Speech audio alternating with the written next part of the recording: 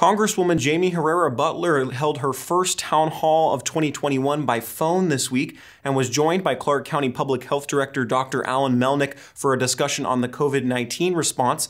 The one and a half hour phone call featured a fairly even split on the two topics of the pandemic and also impeachment. Several callers also asked similar questions regarding how to access vaccine sites and schedule time for their shots. As we've touched on recently, widespread frustration from backed up phone lines and websites has prevented many residents from receiving the vaccine. Herrera Beutler said she was pushing for a piece of the $1.9 trillion relief package from the Biden administration to be enacted sooner to support enhanced vaccine distribution. The conversation then shifted into the subject of impeachment of then President Donald Trump, which the Congresswoman voted in favor of last month. Several callers expressed their support and asked for further explanation to her reasoning. The Congresswoman said after witnessing firsthand the destruction at the country's capital, she felt the former president's actions were dangerous and contradicted his oath. To read more about the town hall, visit the full story soon at clarkcountytoday.com.